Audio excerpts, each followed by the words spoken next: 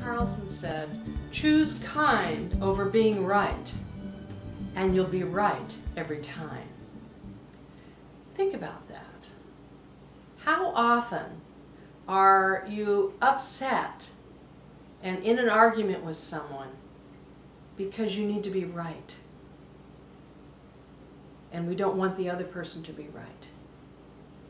What if instead you just stop in the middle of that argument, preferably before it even happens, and you just imagine those French doors on your chest opening up and that heart energy going out, and then the kindness takes over, and you realize that that other person has the same wants and needs that you do to be to be heard, to be accepted, to be acknowledged, to be loved.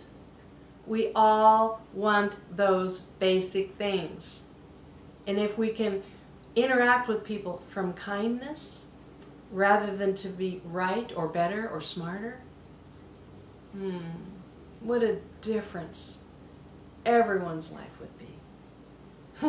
We'd be making magic all the time together. Wouldn't that be a beautiful world?